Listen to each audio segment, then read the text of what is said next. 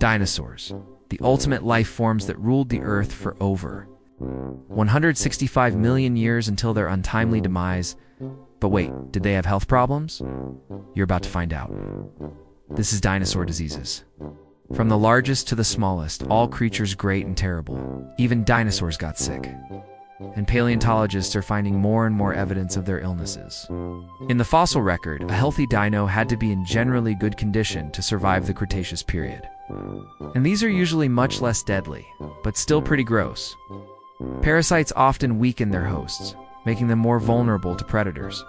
So if you were a dino with a few extra health conditions, you definitely wanted to avoid being bitten by a blood-sucking worm or getting a nasty infection.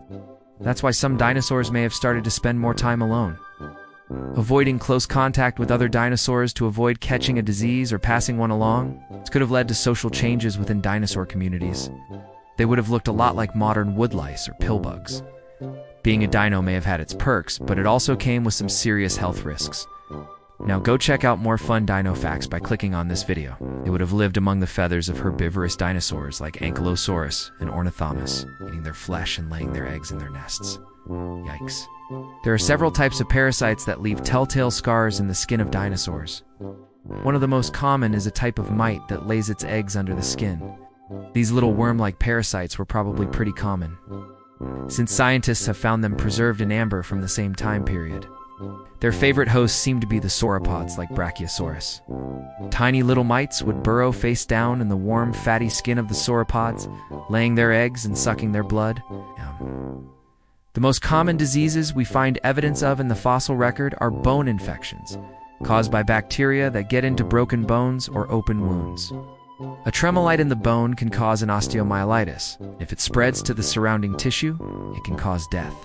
In 2009, researchers found that the famous Sue, the T-Rex at the Field Museum in mm. Chicago, had osteomyelitis. They also found that she was suffering from arthritis, which may have been genetic.